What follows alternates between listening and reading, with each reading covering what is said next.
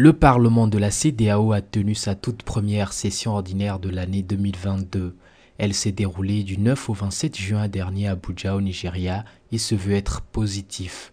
Toutes les activités inscrites au programme de cette session ont été exécutées avec des recommandations validées par la plénière.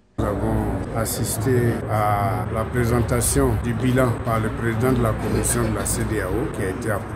Ces travaux en commission ont fait l'objet d'une première plénière au cours de laquelle euh, tous les députés ont apporté des amendements sur certains points et donc ça a été revu par l'administration et aujourd'hui ces différentes commissions sont repassées pour présenter la mouture définitive des différents rapports qui ont été approuvés par la plénière aujourd'hui.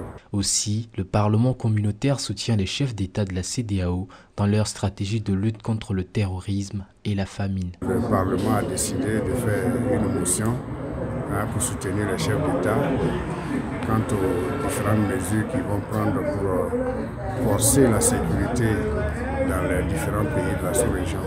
Il faut noter que le Parlement de la CDAO est composé de 115 députés issus des 15 parlements des 15 pays membres.